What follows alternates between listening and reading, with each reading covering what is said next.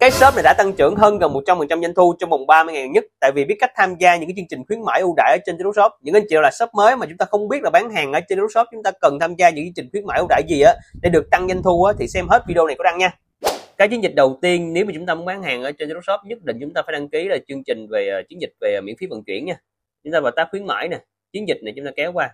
Rồi, cho cái phần đăng ký chiến dịch nè thường thường nó sẽ nằm ở cái tab cuối cùng á, cái trang cuối cùng luôn chẳng hạn mọi người thường thường kéo kéo xuống đây nè nó có cái trang này trang cuối cùng đó, thường thường nó sẽ nằm ở trang cuối cùng. Tại vì cái shop này là đang đăng ký rồi cho nên là nó sẽ không có nằm ở đây. Nếu mà nếu mà đang chưa đăng ký nó sẽ có một cái tab là SFP program này. À, thì có đó mọi người đăng ký thôi. Cái này đang đăng ký rồi thì nó sẽ không nằm trong tab đăng ký chiến dịch mà trong cái phần quản lý chiến dịch này. À, nó có một cái chữ là việc uh, ờ, VN Shipping Program thì mọi người đăng ký chương trình này thì cái shop mọi người sẽ có mã receipt nha. À, cái này mọi người bấm vào đây là mọi người chưa đăng ký mọi người bấm vào chưa đăng ký thôi. Và cái phí của cái uh, cái này là hiện tại là 6 phần trăm và tối đa là 30k cho một đơn hàng nha mọi người tiếp theo là những cái chiến dịch của sàn những ngày sale của sàn thì nó cũng nằm trong cái tab khuyến mãi và chiến dịch này luôn mọi người kéo qua. Thì thường thường đang sẽ nói sơ qua sẽ có những cái ngày sale trong tháng này chẳng hạn như là khi một tháng thì trung bình sẽ có tầm khoảng 3 ngày sale. Ngày sale đầu tiên là ngày sale ờ, double day hay là ngày đôi chẳng hạn như vừa rồi có ngày 9 tháng 9 luôn ngày 8 tháng 9 này ngày 9 tháng 9 này ngày 10 tháng 9 này đó là ngày sale ngày sale đầu tháng. Và cái thứ hai là ngày sale uh, giữa tháng. Ví dụ mọi người thấy có những cái ngày sale giữa tháng chẳng hạn như từ thường thường là nó từ ngày 15 từ ngày 15 cho đến ngày 17 nha. chẳng hạn như tháng 9 vừa rồi có ngày 15 15 ờ, tháng 9 16 tháng 9 và 17 tháng 9 đó là cái ngày sale giữa tháng và sẽ có ngày sale lương về là sale cuối tháng này thường thường nó sẽ từ 25 cho ngày 27 tháng 9 này đó thì đó là có ba ngày sale chính thôi. Mọi người vào đây mọi người sẽ thấy chương trình nè. À, có chương trình gì đó sẽ để đây nha. Sale đầu tháng rồi sale giữa tháng và sale cuối tháng nè. Mọi người bấm ở đây mọi người đăng ký thôi. Nha có lúc đăng ký ngay là mọi người đăng ký mọi người xem cái điều kiện nó như này mọi người đăng ký à, ví dụ đây là chi tiết của một cái chiến dịch uh, ngày sale này nó có sẵn là khi mọi người đăng ký là mọi người sẽ được hỗ trợ voucher như nào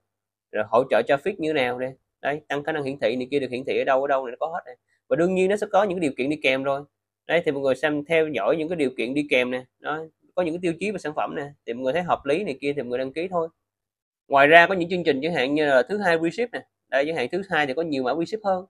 hoặc là những cái chương trình uh, ngày sale dành cho ngành hàng ngày, ngày sale dành cho ngành hàng thời trang ngày sale dành cho hàng hàng bách hóa là mỹ phẩm gì đó. Đây có những ngày sale dành cho ngành hàng như là ngày sale dành cho ngành hàng điện tử này. Ngoài ra một cái chương trình nữa mọi người nên tham gia là chương trình về ờ, shop tab flash sale này. Tức là khi mọi người tham gia chương trình này á, thì có khả năng là các sản mọi người nó xuất hiện những cái trang shop tab à, ờ, cái trang shop tab cái trang trung tâm mua sắm ở trên TikTok shop á, thì mọi người tham gia những cái, cái chiến dịch này mà có chữ shop tab này.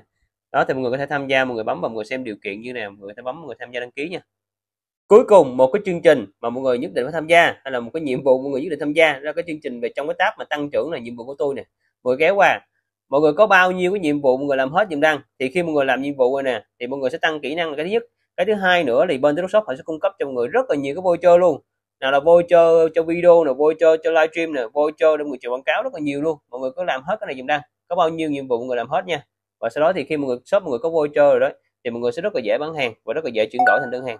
và đang có một nhóm Zalo là Home Tốt Shop, chuyên chia sẻ và cập nhật cho mọi người những cái thông tin mới nhất về TikTok và TikTok Shop và đang rất là hay làm livestream và những cái zoom chia sẻ trực tiếp cho người trong đây á. Anh chị nào muốn vào á thì đang để cái đường link Zalo này ở comment đầu tiên của video luôn nha. Còn bây giờ thì xin chào và hẹn gặp lại tất cả mọi người. Xin chào nhé.